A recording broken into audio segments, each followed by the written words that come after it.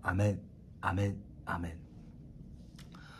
啊，上个礼拜五呢，我人是在洛杉矶啊，但是因为有事，我就没有在现场啊，跟今天一样，在线上跟大家一起聚会。啊，正聚会一半呢，咚咚咚，警察敲门来了。哎呀，这个在中国当牧师久了呢，都有这个职业病了。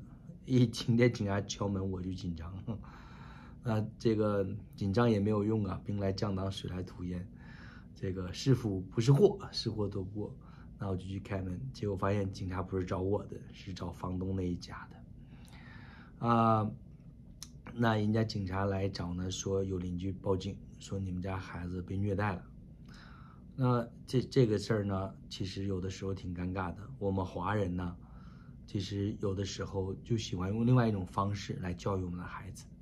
可是呢，白人就觉得这是虐待，但是那一天呢，百分之百是人家诬告，为啥呢？因为我在现场，那我们这一帮人在那儿，啊，这个说事儿呢，那大人哪有功夫去打孩子呀？而且中国的大人打孩子一般都是关着门打，也不能当这么多面打，所以那天绝对是诬告。但是呢，我们就看到一个啊，就看到一个文化的差异，这个文化的差异是什么呢？就是，哎呀，这个美国的孩子，你连一个指头都不能碰他，所以现在在美国当老师也很难，只能哄啊，只能哄，只能哄，不能说，啊，说搞不好人家就告你歧视了，那更不能打，那打就是虐待了，那都是重罪。我们有律师在线上的，但是今天啊，这样的结果真的好吗？这样的结果真的好吗？所以今天美国教育有很多的问题，当然。那也不是因为咱们不能打不能骂，所以美国教育才有问题。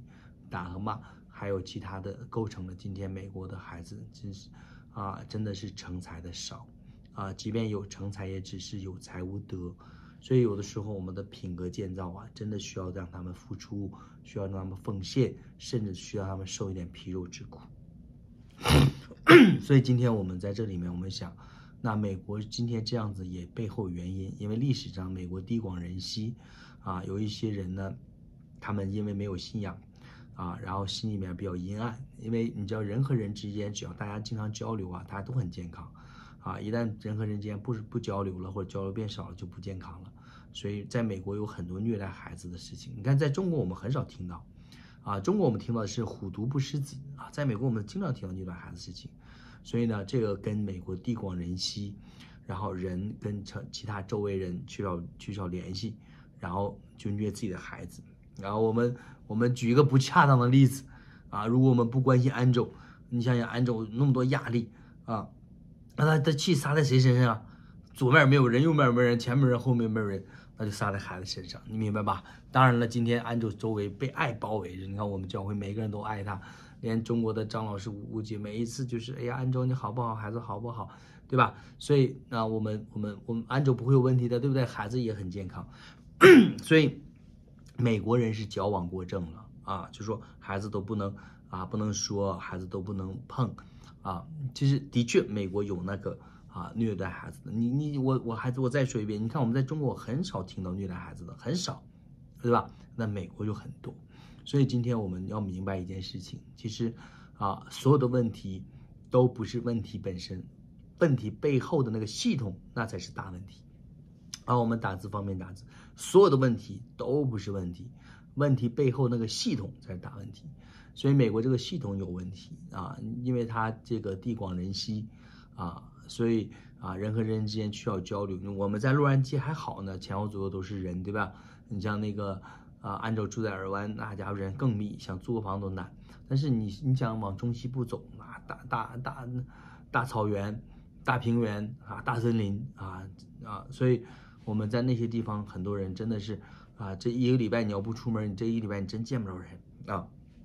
所以，所以今天我们在这里面，我们要承认啊，这个美国有这样的问题，但是美国解决问题的方式不对，矫枉过正了，所以现在不能打，不能骂。所以 今天我们在爱中，我们是可以管教我们的孩子的，啊，所以我们我们现在美国有些牧师就写一本书叫《敢于管教》。为什么他写这本书要敢于管教呢？因为被法律给阉割了以后，很多牧师、很多领导都不敢管教了，很多老师都不敢管教了，啊，所以那今天我们回来，我们看这段经文的时候，那我也特别有感触。所以保罗那个时候呢，啊，他传道的时候，他没有收教会的奉献，啊，他没有收教会的奉献呢，也有一个原因。你知道那个时候呢，教会是非常非常艰难的。那个时候教会啊，受罗马政府的迫害啊，受罗马政府的迫害。所以啊，这个保罗呢，他有一个非常好的身份啊，他是罗马公民啊，所以他就不会受到迫害。那他还有一个自己的生意啊，他有一个做帐篷的生意。我们在圣经我们看到，所以保罗有两个独特的东西，这是别人没有的。这时候你让彼得不收奉献，彼得早就饿死了。哈 哈彼得没有存款，也不是什么二那个一等公民啊，那所以呢，这个。保罗当时就有这样的一个一个啊，叫什么啊优势啊，他是这个罗马公民，然后他自己有生意，所以他就没有给收教会的钱。那当然了，后来其实保罗也开始收教会的钱了，因为前面呢他刚开始传道呢，他的开销很小，也就他自己的吃吃喝拉撒，那他自己负担得起。那后来保罗有宣教团队了，那后来保罗做的工作大了，开销也大了，所以后来保罗才开始的。所以保罗在这里面讲述什么呢？说我没有要你们的钱，啊，我要的是你们，啊，我要的你们。保罗年轻的时候喊出一个非常响亮的口号，圣经熟的你们可以去找。保罗喊出什么口号呢？我就是让人不花钱啊听福音，我是让人不花钱听福音。所以今天我们在这里面我在想，花钱不花钱不是重点，重点是我们让我们信主的弟兄姐妹。让他自己有参与感，让他自己知道他所领受的福音是神的恩典，是白白的，但是也是付了代价。一路上从耶稣付了什么代价？生命的代价，自己死在十字架，到后面那些圣徒付了什么代价？付了生命代价，因为福音被被抓被杀。到现在我们认识的这些牧师传道付了什么代价？就是劳不辞劳苦的，日以继日以继夜以继日的，我们在传主的福音。所以。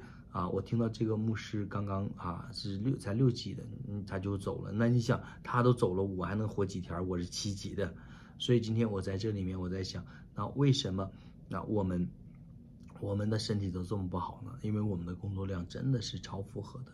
所以今天我我在这里面，我我在想，那照着这个这个工作量，我得我得拿多少工资才合适呢？我这样想就错了，我也不会这样想。我们来服侍神不是为了钱，但是呢，弟兄姐妹得到了啊这个服侍啊，我们要有一个感恩的心啊，我们把捐出的钱用来支持啊传道人的传道的工作，也支持传道人的这个工作和生活，这个是一件很美的事情。所以，我们在这里面，我也想提醒我们弟兄、我们姐妹啊，以前圣经不熟啊，好像就得给牧师捐钱，就得教会捐钱。哎，今天圣经熟了，你看圣经说了。啊，这个我们不能收弟兄姐妹的钱，相反，牧师还得给弟兄姐妹钱呢。呃，谁说的？保罗说的啊，说啊，我求求的是你们，不是你们财物。儿女不该为父女父母积财，父母该为儿女聚财。啊，我自己也甘心乐意为你们灵魂费财费力。难道我越发爱你们，就越发少得你们爱吗？所以今天在这里面，保罗有没有这样做？保罗真的这样做了。保罗有没有这样做？保罗真的这样做了。但是第一，保罗是刚传道的时候这样做，后面他不这样做了。OK，所以这个我们在江湖就要守江湖的规矩啊，这个奉献是一定要收的啊，这个奉献是一定收的。那因为保罗他到那个时候刚出来闯荡，他呢有着一股子热情，但是规矩就是规矩，他没这样做，结果是好吗？结果是你保罗得到额外的爱了吗？结果是保罗你得到额外的尊重了吗？结果是保罗你得到了这个这个这个这个什么了吗？没有。事实上，保罗说：“我爱你们更多，我得到爱反而怎么样更少了。”所以今天，亲爱的弟兄、亲爱的姐妹，我们家的孩子，我给他们的很少，相反，我要求他们做的很多。啊，这次那个啊，詹内马上。带着这个他律所的人去达拉斯参加一个活动，并且在活动上有他们的展位。好，那我说詹妮呀，那那个啊，把你展位借一半给我用啊。我说我呢也在那宣传宣传咱们教会的空中课堂。Jenny 非常慷慨，Jenny 非常慷慨。Jenny 说好，Jenny 没说牧师行，那个我摊位费多少钱？正好你用一半，咱印一半，詹没詹没说啊。我自己我我非常非常清楚，VVI 也好，Jenny 也好，安卓也好，都是非常慷慨的啊。Jenny 没说，所以我感谢 Jenny 啊，没找我要钱。可是 Jenny 没找我要钱，但是 Jenny 不能帮我替我干活啊。刚才你听见了吧？这个二姐讲了啊詹妮很忙，白天晚上的。那那个詹，那我要了半截的摊位，我得布置啊。那这布置谁去设计啊？谁去弄啊？谁去弄？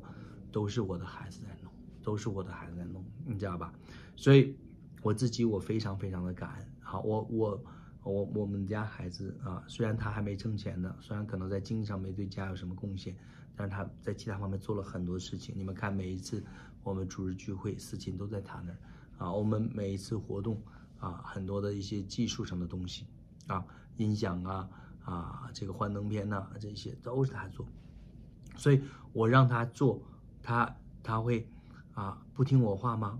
我让他做，他没有不听我话，反而更听我话。我不提名字啊家里也知道，我们我们认识的人。啊，家里面孩子啊，什么都不做，啊，或者说父母也很少让孩子做，偶尔父母让孩子做，孩子做还是不做，孩子不做，我没时间，我忙，啊，所以今天亲爱的弟兄姐妹，这个不是简单钱的问题，这个不是简单这个事儿啊，是大人做还是孩子做的事情，这个是背后一个成熟跟不成熟的问题，成熟就是付出。成熟就是担当，相反，不成熟就是自私、逃避责任、不愿意去面对。所以今天我们让弟兄、让姐妹奉献，是帮弟兄、帮姐妹成熟。你们如果同意，你们就打字，阿门，阿门，阿门。你说牧师啊，你别忽悠我们，我我们已经很成熟了，不用捐钱。嗯，你这种想法就不成熟，啊，对不对？所以，所以今天我们的弟兄、我们姐妹啊，懂得。这个承担责任啊，愿意分享啊，呃，这个教会的重担，我们好好的工作，我们蒙上帝的祝福，我们把从上帝得到祝福拿出来，我们捐出来啊，让教会更有力量哇，这是一件非常美的事情，这是件非常美的事情。那我们的孩子啊，虽然大家都读书很辛苦，但是我愿意拿出时间来去啊，在教会里面服侍，我愿意拿出时时间来来做一些这样那样的事情。那这些会帮助我们孩子成熟的，会帮助我们孩子懂事儿的，不会因为他做多了，反正他就不懂事儿了。相反，他做越多，他越懂事儿。因为不当家不知柴米贵，不养儿不知父母恩。所以今天，今天我们回到这个人生也是这样，回到人生也是这样。你谈一场恋爱，啊，你好爱对方啊，啊，对方好帅啊，我什么都愿意给他呀。你把什么都给他了，请你告诉我他会对你好吗？你把什么都给他了，他对你一定不好的。原因很简单，原因很简单，因为，因为，他太容易得到一些东西，他太他不会珍惜的，他太容易得到一些东西，他不会珍惜的。所以今天我们我们我们讲恋爱脑为什么痛苦呢？啊，我太爱他了，我什么都给他了，你什么都给他了，反而他不珍惜。所以今天。那些有智慧的男人、有智慧的女人，都会对对方提要求。那我们两个人不再是两个人，现在是一个人。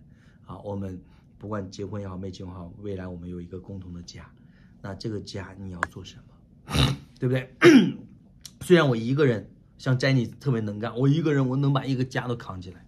啊，但是你要做什么？啊，要对对方提要求，因为只有对方，只有对，只有对方。参与了，他才能有归属感；只有参与了，他才能体会到这里的艰辛，反而他会更加珍惜。所以今天你会你会发现，那些能作的那那些能作的女孩格外得偏爱，对不对？为啥呀？人家能作，人家要对方付出。但是你别看作本身不好，但是作的结果挺好。那对方付出了，对方反而有的时候就被这段感情给绑住了。所以今天，亲爱的弟兄、亲爱的姐妹，亲爱的弟兄、亲爱的姐妹，亲爱的弟兄、亲爱的姐妹，我我告诉你，一个人对一个人对教会不满，说走就走，就说明他这个教会没捐钱，他没有任何感情在这里，他说走就走。但是今天你让詹妮走，詹妮在这个教会倾注了很多的感情，啊，所以今天，啊，我我你让二丽走，二丽在这个教会倾注很多的感情。现在我撵二丽走，二丽也不走啊，二丽说我不走啊。